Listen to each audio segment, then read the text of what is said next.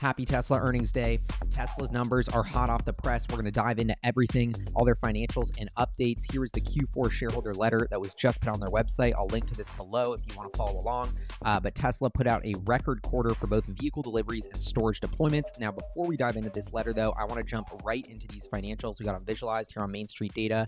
Uh, these numbers just were released minutes ago. So, $25.7 billion in revenue uh, for Tesla for the quarter. So this was just above a record high, but you can see momentum on that top line is stalling a bit. If we zoom into year over year growth on the top line, uh, that was just 2% revenue growth. And you can definitely see that momentum is slowing a bit.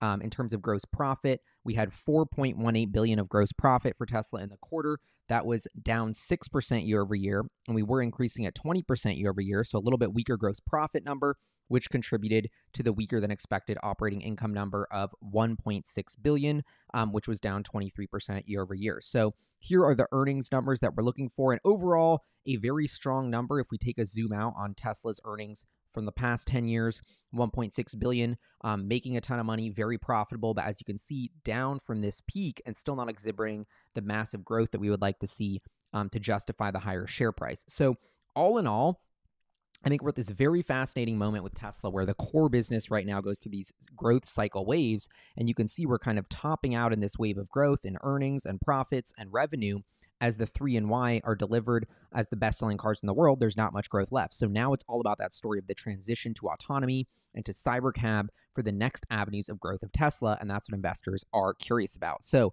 if we dive into this report here, before I'm going to go into all the numbers and nerd out, I do think it's important to give you the most important news from this whole letter, which is about Cybercab, because um, like I said, so much of Tesla's valuation is comes down to this Cybercab product. When will it come out? Will they be able to launch out a robo taxi service? Because that's going to drive the earnings growth that Wall Street is arguably already pricing in at the stock. So here we can see in their guidance section, this is the best part of the shareholder letter, I think. Cybercab will continue to pursue a revolutionary unbox manufacturing strategy and is scheduled for volume production starting in 2026. So I think this is the biggest news from the shareholder letter is Cybercab's not just coming out in 2026, but in a big way. So I think that is sort of the goal that Tesla wants investors to keep their eyes on. Um, and that is the big needle mover for the company. So that is super duper exciting. Um, there was tons of other good news um, in this shareholder letter. Let's start at the top and rip through. But Cybercab coming in a year has got to be the most important one. Um, earnings strong, 1.6 billion. Um, I thought it was also important to keep in context how profitable Tesla has become as a company. Um, their cash increased about 8 billion this year to 36.6 billion. So with almost 40 billion in cash, Tesla zero risk of going bankrupt or anything like that in a very strong, rock solid financial position. Love that. Um, Model Y, best selling car in the world of any kind. Um, now they've just refreshed it. That's going to get delivered in March. So they expect that to continue to be the world's best selling car. So awesome to see that refresh. Ton of momentum um, there. I thought this was an interesting tidbit. Um, they're also working to launch FSD supervised in Europe and China this year. So that's very exciting news. Um, if we go to the financials here, dive in, get a little bit nerdy. Uh, we can see that automotive business was really the weak spot uh, with negative 8% year over year revenue growth. Energy revenue up 113% year over year in Q4 to $3 billion. Services and other revenue up 31%. That's going to grow as the fleet grows, supercharging service, um, warranty sales, all that kind of stuff. So that led to total revenue of 25.7 billion. Uh, gr- gross margins did get hit, and that's because I don't know, maybe energy had worse gross margins than expected and service did. But either way, we're looking at gra- GAAP gross margins of 16.3%. That's the lowest um, in the past five quarters. And so that is what hurt the earnings number. In addition to higher uh, or to lower gross margins, we've also had higher expenses. Uh, Tesla expenses bumped up, growing about 9% um, year over year in Q4, which doesn't seem like much, but when revenue is only growing 2%, that 9% expense growth eats away. And a lot of that's due to AI and the new investments that Tesla is making there. Um, and if we go to operating margin, 6.2%, still amazing for an auto company, but as you can see, down from that 10% last quarter and that 15% that we've seen from Tesla. So Tesla definitely a little bit weaker there in the operating margin uh, perspective, and that led to income of operations, which is this is the most important number that I always look at. The core earnings of the business, 1.6 billion in the quarter. So on an annual run rate, that's about six or seven billion of earnings. That's not going to justify you know this 1.4 trillion dollar valuation, basically trading at a 200 times uh, 2024 earnings right now. So I think that's important to keep in context. Now, if we scroll through here, uh, we can get a little bit more clarity. This is just by annual numbers to see the kind of growth of everything. Automotive business used to be the powerhouse, now slowing down, but still so much bigger than it was uh, just a couple years ago. Then we look at energy revenue and services revenue, which have boomed to now become about, you know, 10 or 15% of Tesla's overall revenue, and actually over 20% if you combine them of Tesla's sales are now from this services and other and energy and storage component. Um, here they give us a little more clarity on what happened in terms of the financials. Obviously, basically energy and services driving growth. Vehicle business had a little bit uh, tougher year than expected. Cash flow still very strong. I thought this was interesting to see that production of 460,000 units in Q4 was down from 495,000 units in Q4 uh, 2023. So this really shows you that sort of maturation and top out of Tesla's sales um, with their current vehicle lineup. Now, um, also as well as high interest rates have been impacting this vehicle deliveries number, and so with much lower interest rates and Tesla expanding their vehicle lineup, that's why we saw growth from half a million units a year to almost you know 1.8 million, and now it's steadying at 1.8 million. But Elon Musk and Tesla are saying this number, which was down four percent total production um, in 2024, is slated to grow again next year. So everybody's looking at what that growth rate um, will be. Also, there's always been lots of talk about them decreasing the supercharger networks. I thought it was interesting that they've continued to expand that about 19% growth in superchargers this year. Um, then, in terms of vehicle capacity, lots of interesting tidbits on this uh, uh, slide here. They also re-mentioned the Cybercab uh, is going to be in volume production 2026. Um, the semi truck is being built, uh, or the factory is starting to. The factory will be complete by the end of 2025 with a ramp up in 2026. So the semi Still going slow like a turtle, but it is coming, I promise. It's just so much harder to launch in that entirely new customer segment. Um, but that still continues to make great progress. Uh, refresh Model Y, uh, continuing to do great after the Model Y's big success last year. But, and this is also another interesting one market share of Tesla vehicles by region. You can see this was just going all up, up, up. Now is a little bit flatline and decreased due to competition, due to interest rates, um, and due to lack of new vehicles. Then we'll get to the exciting part. Tesla's AI division here. So V13, this is what they're very excited about the new version of self driving software. Um, they're coming out with better and better safety data. Tesla's using autopilot, drove 5.94 million miles between accidents. The average US driver is 0.7 million miles. That's like eight times less likely to get in an accident. So that's amazing. Um, and billions and billions, I think we're up to like 6 billion uh, of miles. Um, or with, uh, no, no, how many miles is that? 3 billion miles driven on Tesla's full self driving software and adding a few billion a quarter at this rate. So Tesla continues to stack up bill- literally billions and billions, soon to be tens of billions of real world driving data um, to train its software. And very excited about. I mean, I've been using my full self driving software all around Seattle. I got to say, it's getting it's getting really good.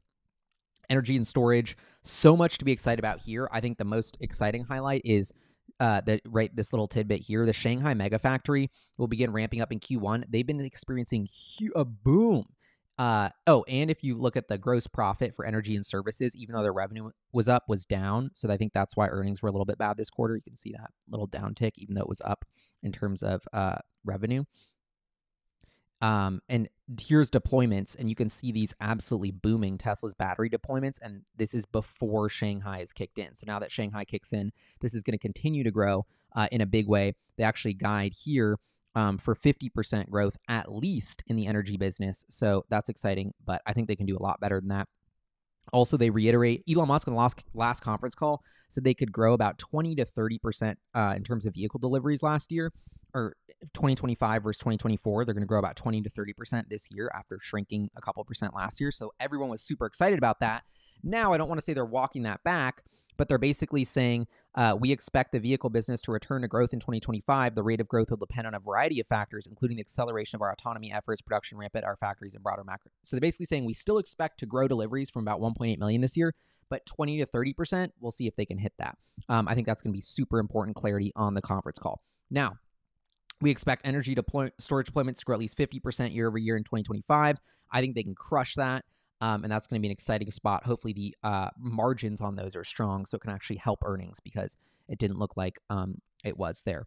Uh, then, um, this is an interesting tidbit they keep talking about is uh, well, first of all, their cheaper, more affordable model remains on track for the start of production in the first half of 2025. That's very, very exciting. Uh, these vehicles will utilize aspects of next generation platform as well as aspects of our current platforms and will be produced on the same manufacturing lines as our current vehicle lineup.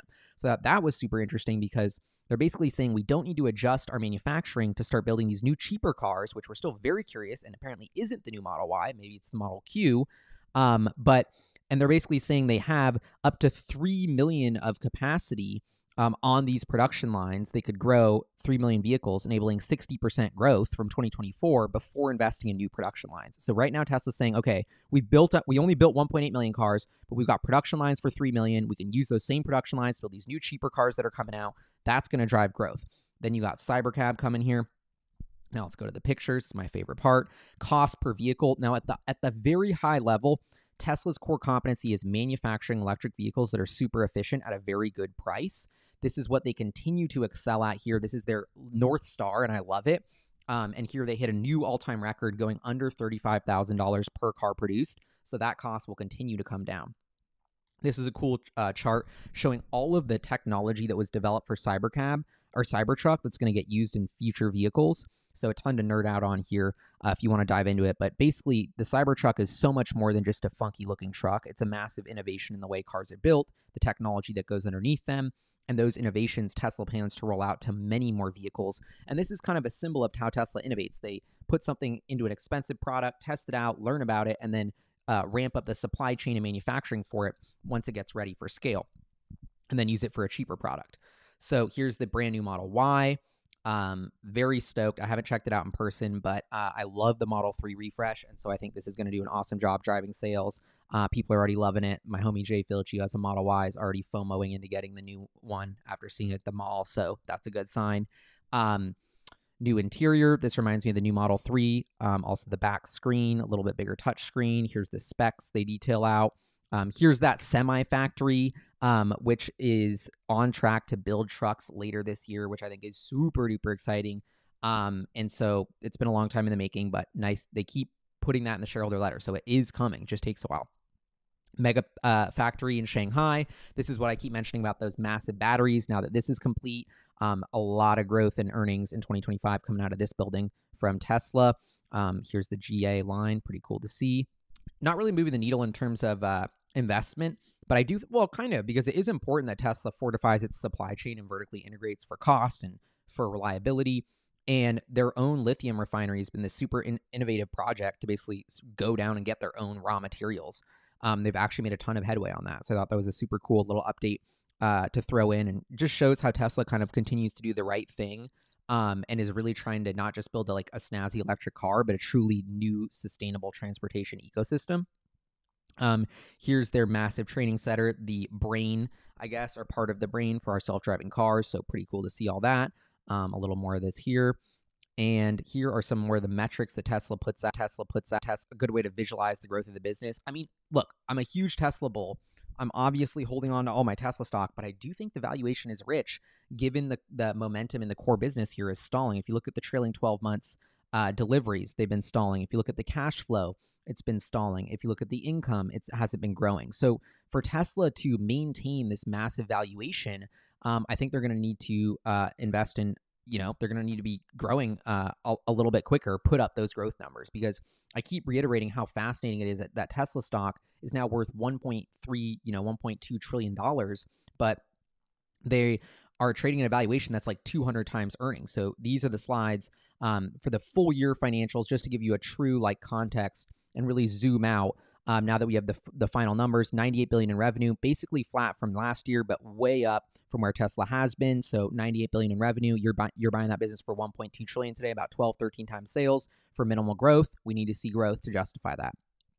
Gross profit down as margins have gotten hit to about 17.5, 18 billion in 2024. Um, not as high as 2022, but you can see that momentum of the numbers is strong, and that's the the point I want to drive home here is that momentum that long-term earnings uh, momentum. Seven billion for operating income. This is a little bit lower than I was expecting for the full year, um, down from the previous two years. So this is the number to watch, I think. And with higher interest rates and Tesla decreasing prices, um, there's been a lot of pressure on the automotive business. And this is why Elon says that the automotive business is so difficult because it's really hard to make a, a strong, consistent profit margin every year. And we're seeing that with Tesla as higher interest rates come out, as consumer demand for EV fades just a teeny little bit and competition heats up, that already has big impacts on the margins. So I think this is, uh, we're getting soon to that rubber meets the road moment of Tesla where so much of that valuation, you know, 1.234 trillion dollars for 7 billion in earnings you're paying 200 times earnings. Are earnings going to instantly double to 14 billion? Actually they could pretty easily even to 20 billion even to 25 billion. But that's still not really enough to justify this 1 to 2 trillion dollar valuation. I think tesla needs to hit 50 40 50 billion in earnings to justify upside from here at least if you're going on the financials. So i think we're at such a fascinating time. Elon musk has said robo taxis are launching in California and Austin this year. That is what I'm waiting for to get clarity on the conference call. This is such a fascinating time. These financials we already kind of knew because of the delivery numbers, but Elon is very involved in the Trump administration. What does that mean for Tesla? Where's his focus with Tesla? What's his tone? What's the tone of Tesla? Is this going to be a rough two years as they cut a bunch of government spending and the EV incentive packages? Is this going to be, you know, we're all going to like sort of a winter where we have to hunker down and the industry gets tough and earnings are tough and that's sort of a sobering moment for markets? Or is this just all euphoria now that Trump's in office and Elon's working with him? I personally think it's going to be a little in between. There's going to be a lot of hiccups us going from 7 billion in earnings to 70 billion in earnings to justify this valuation is going to be a very long road.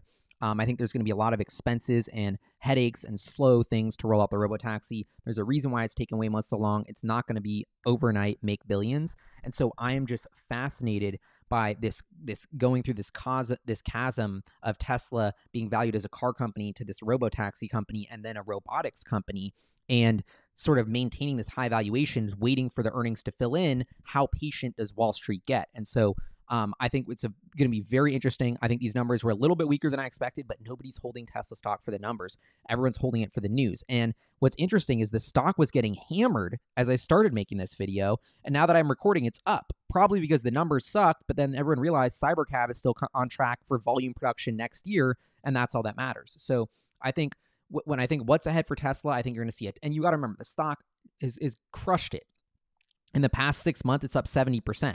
So, of course, it might have a little pullback. So, I think Tesla right now is going to be very volatile um, as the path and launch to robotaxis happens because you have such a high earnings multiple. Elon Musk is in the news with Trump. That is changing every day. That insanely fluid situation. I mean, my high level take on that is very weird time to be a Tesla investor. Any headline with Elon Musk gets 100 more clicks than any other article. Any negative headline about Elon Musk gets 100 more 100x more clicks and that's why that's what's moving on the internet right now. And I think that is so far not impacted Tesla's share price but has impacted Tesla's brand sentiment and I think which is kind of bullshit frankly because I just think the me- the legacy media is having a field day making fun of Elon Musk and it's kind of annoying and I don't think it's justified at all. But that is what it is. We're in controversial, crazy, uncharted territory with Elon being in with the government. So that is why I'm so curious about this conference call. What is the tone? This is the first time we've heard from Elon and the team, uh, you know, with the Trump presidency. So it's going to be very, very interesting. Um, and then with that question of robotaxi just hanging over everyone's head. So let me know what you think in the comments below. What did you think of Tesla's Q4 earnings? I'm going to listen to the conference call and make another video. So see y'all next time. Peace.